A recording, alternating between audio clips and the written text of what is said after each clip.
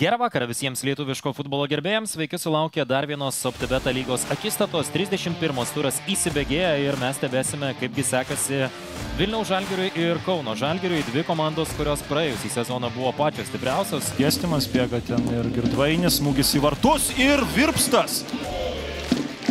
Čia Sirgedas, perdavimus ir gal pagrindiniai vartininkai, kurie bus šiandien traumuoti, o čia Valskis. Atkreipiau dėmesį, kad šiek tiek prilaikytas buvo Dulžnikovas, dabar perdavimas, smūgis į vartus ir šalia vartų. Buvo visiškai laisvas, pataikyti nepavyko. Bet pagal tokius pavojingus momentus galima Čia sakyti, pavojinga.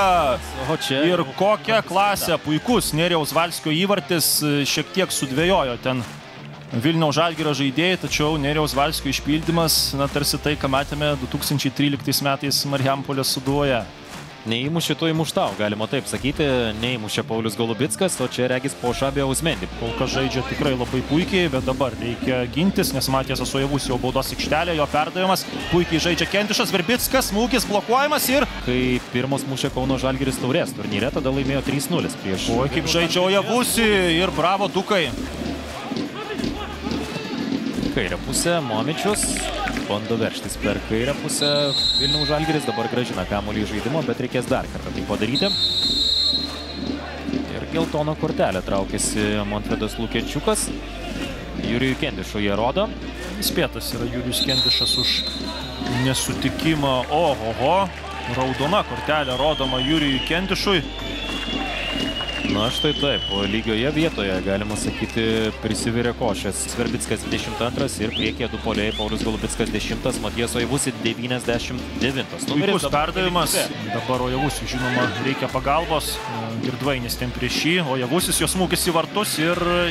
Jo perdavimas kairė koja ir labai neblogas perdavimas, čia galimybės smūgis.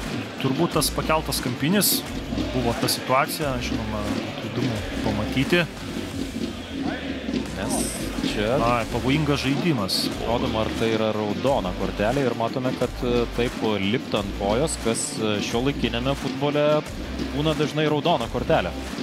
Ir dabar e, turi e, mažumoje kol kas žaisti Kauno Žalgiris, perdavimas arčiau vartų, e, smūgis į vartus ir šalia vartų. Taip, matėme šiek tiek pašalytą koją, dabar perdavimas tolimų virpstų link ir pelnytas įvartis antrame aukšte, štai taip Edvinas Girdvainės. Na, Kas kitas, jei ne Edvinas Girdvainis, tokioje situacijoje muš įvartį ir bėga jis pas savo komandos draugus, 75 minutė.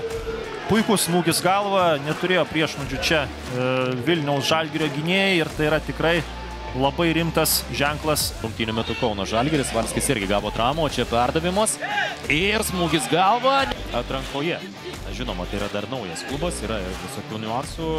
Turi būti treji metai klubui, kol kas jam yra dviejai, bet faktas tas, kad galimybė gauti. O čia dar viena geltona kortelė, Goropsovas yra vejamos iš aikštės, nes jis gauna dvi geltonas korteles.